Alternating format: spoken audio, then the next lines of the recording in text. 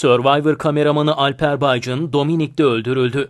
Dominik Cumhuriyeti'nde çekimleri devam eden Survivor ekibinde görevli Alper Baycın sokakta yürürken çantasını gasp etmeye çalışan iki kişinin bıçaklı saldırısı sonucu yaşamını yitirdi. Baycın'ın ölümü Survivor ekibinde büyük üzüntü oluşturdu.